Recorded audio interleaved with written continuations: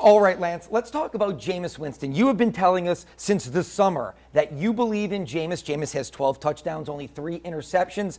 But I think you may agree with what I'm going to say. Is it time to let Jameis cook? so to say, uh, and maybe open up the offense. Sean has been rather conservative. It, they, they've won games, but is it time to start letting Jameis be Jameis? Well, it's ironic that you say let Jameis cook because it started with, you know, let Russ cook. But uh, look, man, I, I think it is time as well, but the goal is to win games. It's, it's, not to lead the National Football League in touchdowns. It's not to lead the National Football League in yards. It's to do whatever it takes any given week to win the football game. We all love to see the ball thrown way down the field, a lot of touchdown passes.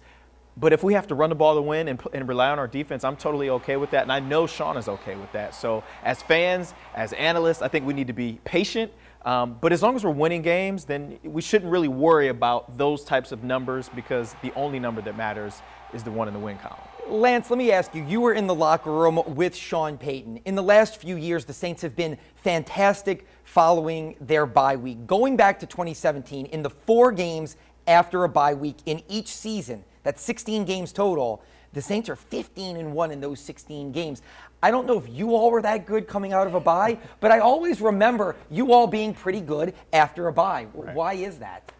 Uh, honestly, I, I, don't know. I, I, know that immediately after the bye, guys are usually fresher, uh, both mentally and physically. They're ready to get back to work. Um, but usually, Sean has the guys in a mind frame that, that it's time to go on a run. Um, and, and, what's happened is in the past, but now we got to focus on what the big goal is, and that's doing whatever it takes to win a division championship, position yourselves for the playoffs, and then go on a run for the, for the Super Bowl. So um, it, I think it's a lot to do with coaching, but a lot to do with guys buying in and being ready to get back to work and excited about the challenge ahead each and every week. Yeah, rested, rejuvenated, and ready to go. Right. He is Saints Hall of Fame wide receiver Lance Moore.